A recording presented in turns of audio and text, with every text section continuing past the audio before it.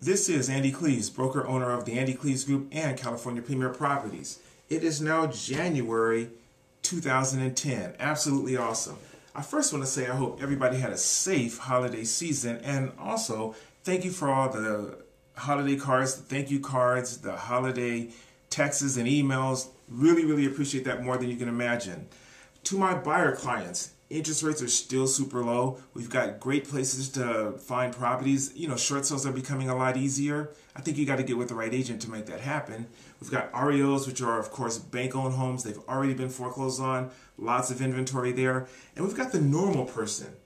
We're talking about the person that isn't in trouble. They don't want to give their home away, they just want a fair price for their home. So the inventory is out there. We just have to make something happen. That being said, here's my model for 2010. No excuses. That's the way I see it. No excuses. Let's make something happen. This is Andy Cleaves. Again, I hope all is well. Take care of yourself and be safe.